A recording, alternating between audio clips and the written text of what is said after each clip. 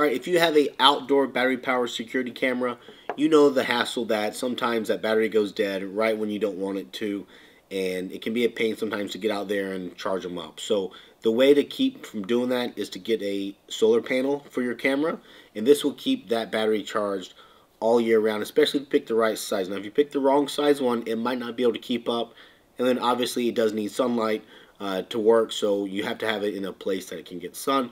But let's go in and review this one. I'll show you this one. It's an A-Zone one. And now the important thing to know with a solar panel is they come in different sizes and therefore different power outputs. And that's what you want to look at. If I compare this to a ring solar panel, ring standard solar panel is 2.4 watts of power. They also now have a super solar panel, and that one is 5 watts of power and you know they recommend that for you know ones their camera gets a lot of motion or if it's in a less sunlight place where you only get a couple hours of sun a day. Now this one's actually 7 watts of power. And A-Zone does make different sizes. You can get different ones. They're smaller and cheaper. But this one is actually half the price of the the ring big one and it's actually more power. So I'm going to show it. This little camera here I have is a uh, Nooie outdoor pro cam but they also uh, work on pretty much any camera that has a USB micro or USB-C port. It, it's a 5 volt DC output, but there are a bunch of cameras that actually have a different connector, and that's things like Ring, Wyze, Arlo, Google, Nest. Some of those cameras have a different port on them, and like if they have the little round um, connector, then you would need to get an adapter to go from this USB style to that style, or you would want to look for a different um, connector on the solar panel. Hey everyone, this is Nate, and this is the Nater Tater channel.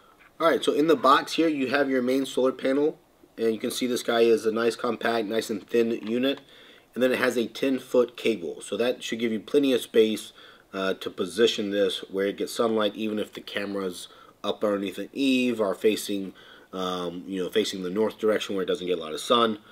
And then um, you can also tie this up and you know secure it if you don't need that full length. All right, so the mounting bracket has three holes in there for screwing on to whatever surface, and then it has this center nut which goes over this guy that you assemble, and this gives you one of your many degrees of freedom for this um, mount here. So you can hopefully mount it in um, any position that will work. And so what you can do here is this can rotate 360 degrees around that way, and then this obviously rotates um, up and down. And all right, so once you tighten that nut down, it locks everything in place where it's at. So you want to position it. You have this loose, and this allows you to rotate. And then it also allows you to rotate this um, this pivot here with the ball mount on it. And so this should give you the option to uh, position this solar panel however you need so it gets the most sunlight.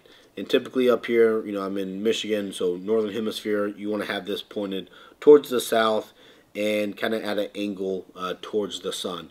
You know, the closer you are to the equator, maybe the more upright you want it. Up here, the farther north I am, I'm kind of going to angle it um, more down uh, towards the, the south because that's where uh, the sun is most of the time.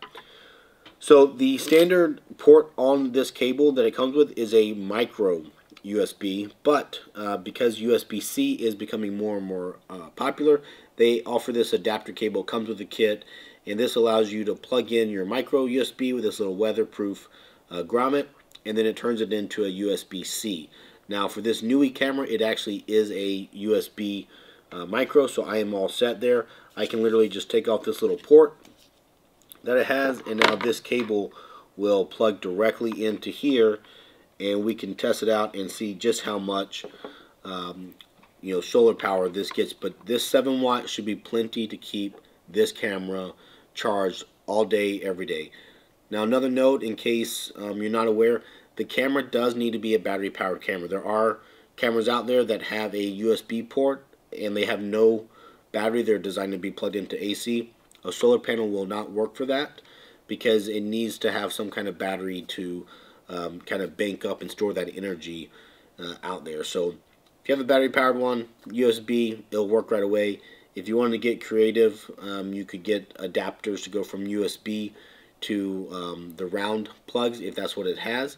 and so long as it supports 5 volt DC input, it will work. All right, so I've had this outside for an hour plugged in. The percent of charge went up 10% in that time frame. So that tells me obviously it needs 10 hours to go to a full charge, but you know, that normally isn't needed because the battery only loses maybe, you know, 1 or 2% a day typically with the regular amount of motion activity. So this tells me with one hour of sunlight a day, I can typically more than cover every um, orientation or location I have this camera, even if it gets lots of motion every day. So uh, this looks like pretty good. I'm pretty excited to see how it lasts long term and never have to charge a battery again.